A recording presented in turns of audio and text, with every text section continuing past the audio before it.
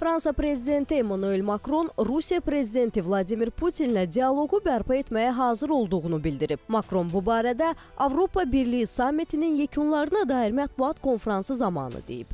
Prezident Putinin ciddi təklifləri olarsa və beynəlxalq hüquqa uyğun olaraq sülh yolu ilə həllə nail olacaq dialoqu bərpa etməyə hazırdırsa, Fransa həmişə dəstək verəcək və nəticə əldə etmək üçün səylərini əsirgəməyəcək, Macron deyib.